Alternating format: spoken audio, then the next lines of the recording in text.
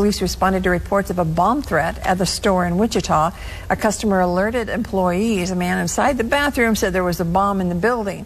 Police were able to locate the man responsible for those comments, and that man told police he warned other guests to leave the restroom because he was, quote, uh, fixing to blow it up, but had no intention of causing a panic.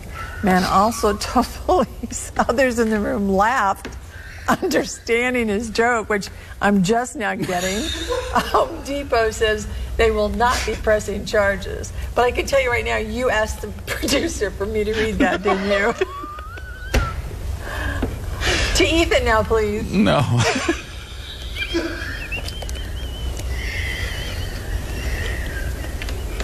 Are we going to have to go to a commercial? no, we're going to get it. We're going to get it. We just had a customer here apparently made what may have been a bomb threat. Okay, what exactly did he say? He said, uh, somebody told me there's a bomb in here, you need to leave the building. He said it three times. All right, we're, we can do this. All right. Uh, turning now to an impassioned plea in a string of thefts.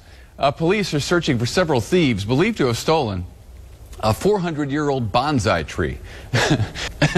the, the owners of the tree, fifth-generation bonsai masters, would like to send a message uh, to the tree.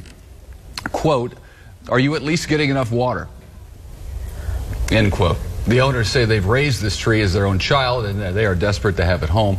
It's estimated to be worth about $90,000.